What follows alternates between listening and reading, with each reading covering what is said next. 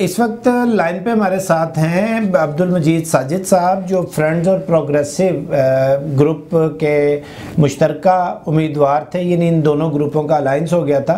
तो अलायंस के जो जनरल सेक्रेटरी के उम्मीदवार अब्दुल मजीद साजिद साहब वो इस वक्त हमारे साथ लाइन पे मौजूद हैं। और हम उनसे पूछते हैं कि क्या सूरत हाल है और वो किस तरह इस, किस तनाजुर में इस चीज़ को देख इतराज देखें वो तो सबकी तरफ़ से हुआ है।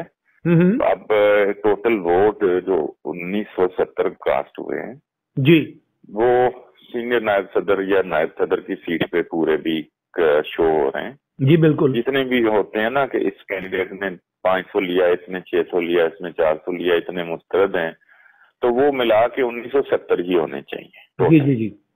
ज्वाइंट सेक्रेटरी और खजांची की सीट पे वो बन रहे हैं उन्नीस सौ उन्नीस सौ चौवन या उन्नीस सौ पचपन।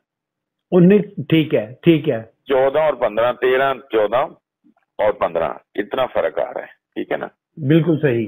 वो यानी उसमें से पेपर गायब हैं वो वो कट्ठे मिला के उसमें फ़र्क आ रहा है। फ़र्क वो, आ रहा है। वो होना चाहिए वो या तो मुस्तरद में पड़ता है या वो खाली में आता है या फलां कैंडिडेट का या फलां का है तो वो मिला के फिर उन्नीस सौ सत्तर ही होने चाहिए। उन्नीस सौ बिल्कुल डेफिनेटली ऐसी वो उसमें से गायब हुए एक एक इसी तरह गेम और करने की कोशिश की वहाँ डेरियाँ लगती हैं कटिंग होती है जो पेपर बैलेट पेपर होता है ना हर उम्मीदवार के ना बिल्कुल सीट के वो कटिंग होती है। तो जिसके जो जो निकलता है उसको वो उसकी डेरी में आ जाता है। बिल्कुल ऐसा। उसमें वो फिर रबड़ बैंड से वो सौ सौ या पचास पचास की एक वो बना लेते हैं ताकि वो गिनने में आसानी जी बिल्कुल बिल्कुल। उसके अंदर भी मसलन एक डेयरी के अंदर मसलन जहीर बाबर साहब हैं हमारी दोस्त हैं वो पानियर से लड़ रहे थे। हाँ जी हाँ जी तो- जहीर साहब। अच्छा वो हम उधर से लड़ रहे थे वैसे वो हमारे साथ ही होते थे तीन चार जी, साल जी। पहले। जी बिल्कुल। तो वो उनकी पहले जीत उनके अनाउंस होगी मतलब जो होता है गैर सरकारी तौर पे जैसे नहीं गैर रस्मी नतीजा जी जी। वो हो गया अनाउंस और बाद में पता लगा कि उस टेरी यानी उस मंडल में ऊपर जनाब जहीर साहब के एक दो वोट रखे हुए हैं और नीचे सलमान कुरैशी भी लड़ रहे थे उसी हम्म। सीट पे। तो वो नीचे से उनके निकले अच्छा। वो फिर रिकाउंट हुए तो उसमें फिर वो सलमान कुरैशी जीत गए। मतलब। ये इसने पूरे सिस्टम को मशकूक बना दिया बिल्कुल बिल्कुल इन बातों ने। होंगे। आ, लेकिन बात यह है कि क्लियर होने या उसकी बात ही नहीं है। बात है इसके निज़ाम की इसकी शफाफियत पे सवाल की। हम्म, हम्म, तो ये कल जो अनाउंस होने जा रहा है पाँच बजे हाँ। तो उस पे मतलब उसे सब एक्सेप्ट कर लेंगे उस अनाउंसमेंट को या अब ये इश्यूज़ आएँगे सामने? नहीं ना करें तो फिर ठीक है डीसी को लाहौर को क्लब दे देंगे फिर और क्या है। मतलब क्या कहेंगे कि दोबारा इलेक्शन करवाओ? अंडरस्टूड बात है। देखिए उसका मुतफिका से फैसला हो जाएगा। मैं कहने का मतलब ये है कि कोई उसमें हमारा भी नुकसान है और किसी दूसरा कोई मानेगा या हाँ। नहीं मानेगा उसका भी नुकसान है। हमारा है ना?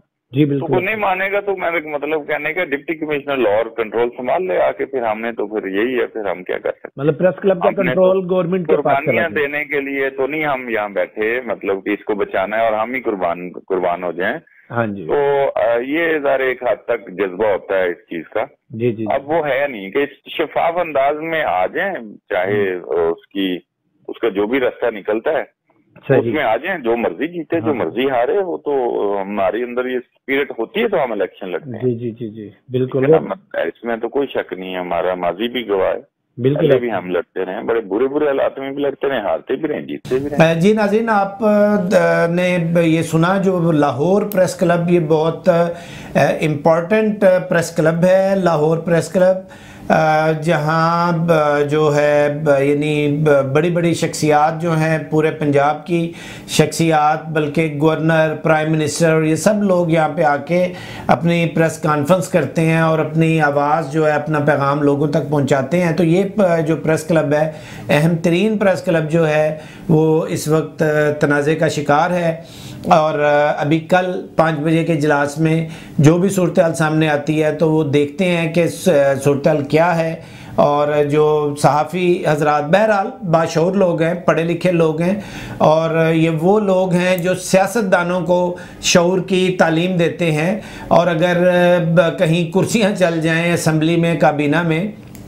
आपस में लड़ाई झगड़ा हो तो यही वो साफ़ी हजरात हैं जो एक दूसरे पर इस तरह जो कुर्सियाँ चलाई जाती हैं या तानो तशनी का सिलसिला होता है या गालम गलोच का बाज़ार गर्म होता है तो यही लोग उन पर तनकीद करते हुए नज़र आते हैं।